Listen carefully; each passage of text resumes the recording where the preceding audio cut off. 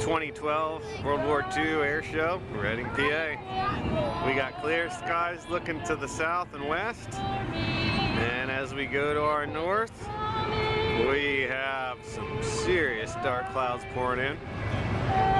Here at the WW2 Air Show.